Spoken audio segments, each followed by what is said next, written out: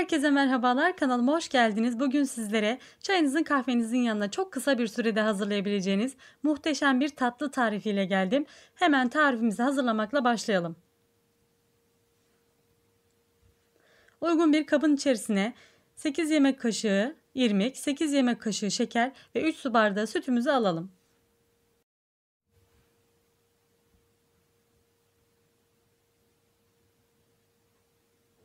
Hepsini güzel bir şekilde karıştırdıktan sonra ocağımıza alalım.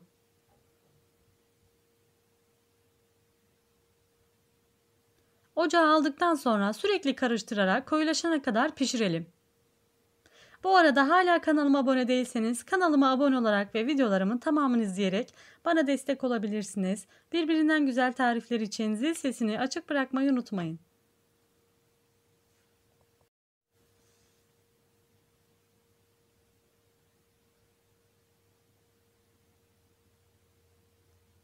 Artık gördüğünüz gibi koyulaşmaya başladı.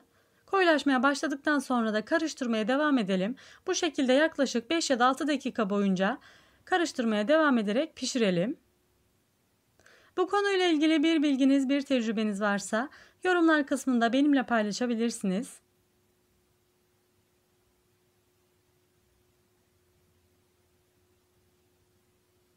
Gördüğünüz gibi alttan baloncuklar çıkmaya başladı. Bu şekilde karıştırmaya devam edelim. Ben artık kıvama geldiğini düşünüyorum. Artık ocaktan indiriyorum. Daha çabuk soğuması için uygun bir e, cam kabın içerisine aldım.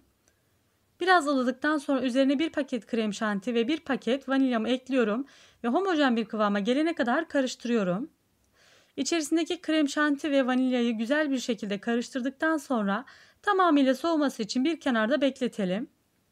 Daha güzel şekil verebilmemiz için tamamıyla soğuması çok önemli.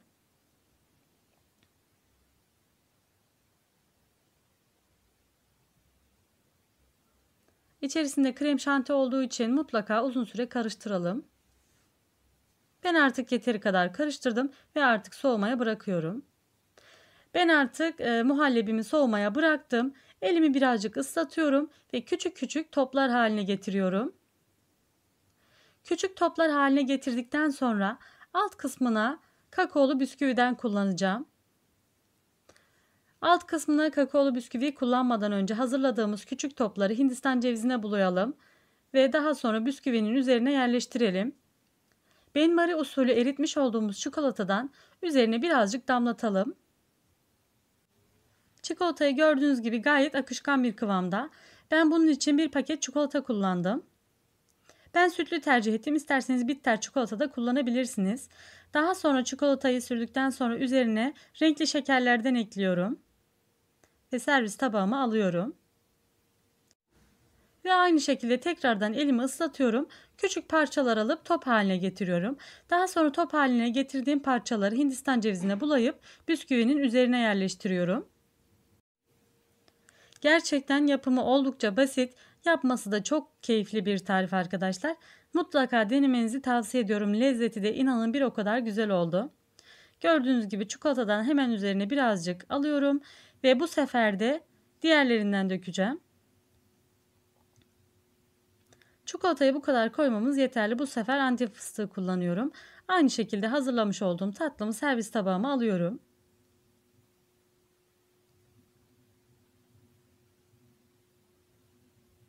Diğerlerini de aynı bu şekilde hazırlıyorum.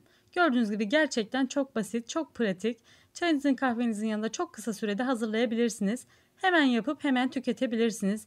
Altına bisküvi koymadan üzerine çikolata e, eklemeden de yapabilirsiniz. Gerçekten çok lezzetli bir tarif oldu.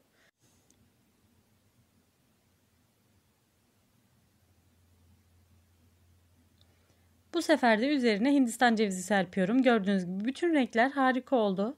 İsterseniz dediğim gibi sade de tüketebilirsiniz. Gerçekten sade bir şekilde de tadı çok güzel oldu. Bütün muhallebilerimi aynı şekilde top haline getiriyorum ve aynı şekilde hazırlıyorum. Gerçekten yapımı da oldukça basit gördüğünüz gibi dakikalar içerisinde hazırlayabilirsiniz. Bu tarifi inanın çocuklar da çok sevdi. Bu sefer sadece çocuklar değil ben de çok sevdim arkadaşlar. Mutlaka denemenizi tavsiye ediyorum.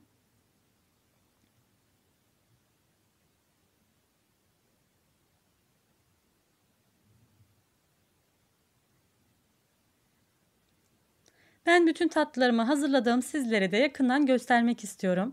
Gerçekten şekli de tadı da muhteşem oldu arkadaşlar. Gördüğünüz gibi harika oldular.